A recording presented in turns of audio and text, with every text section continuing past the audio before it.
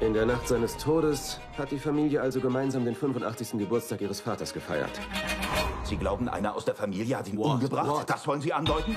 Wer ist der Kerl? Mr. Blanc ist Privatdetektiv. Von bestem Ruf. Ich habe einen Tweet über einen Artikel im New Yorker über Sie gelesen. Sie sind berühmt. Mein Vater hat Selbstmord begangen. Wieso sind Sie hier? Ich vermute Fremdeinwirkung. Die Familie ist zutiefst verzweifelt. Und in der Verzweiflung zücken die Menschen gern die Messer. Eigenartig, Ransom. Die Beerdigung lässt du aus, aber zur Testamentseröffnung erscheinst du. Leck mich doch. Wirklich reizend. Ich finde, das sollten wir öfter so machen. Sie haben mich alle belogen. Ich warte auf die große Enthüllung. Oh mein Gott.